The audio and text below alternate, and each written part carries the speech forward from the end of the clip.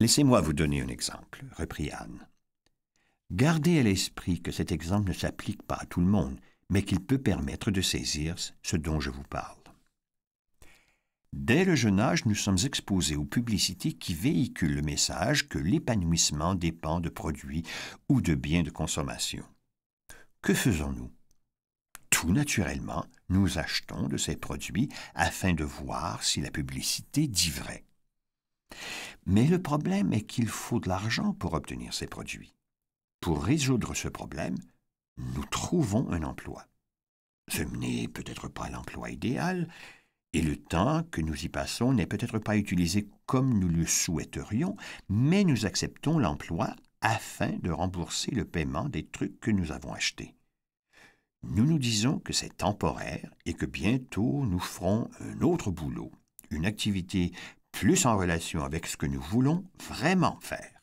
Mais il y a un hic, parce que l'emploi ne nous permet pas de nous épanouir, et parce que nous y passons tellement d'heures nous nous sentons de plus en plus insatisfaits.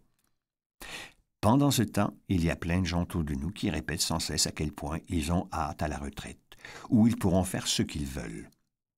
Avant longtemps, nous commençons nous aussi à rêver à ce moment presque mythique dans le futur, où nous n'aurons plus à travailler, mais où nous pourrons plutôt passer nos journées à faire des trucs qui nous passionnent vraiment.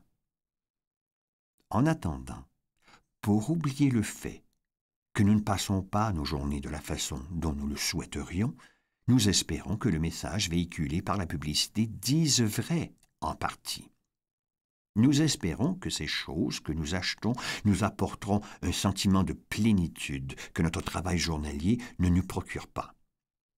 Malheureusement, plus nous achetons de choses, plus nous avons de factures à payer et plus nous devons travailler pour les payer.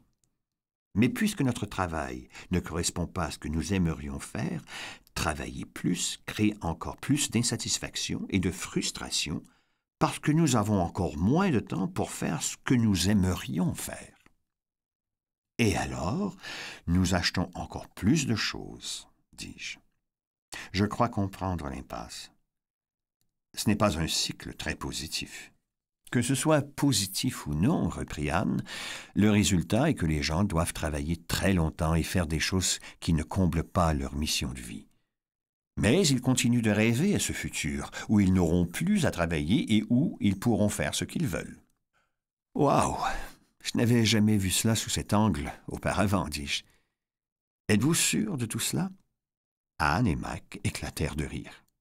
John, reprit Anne, tout comme je ne vous recommanderai pas de considérer les messages publicitaires comme étant des vérités, mais de les voir pour ce qu'ils sont vraiment, je ne voudrais pas que vous acceptiez tout simplement tout ce que je dis.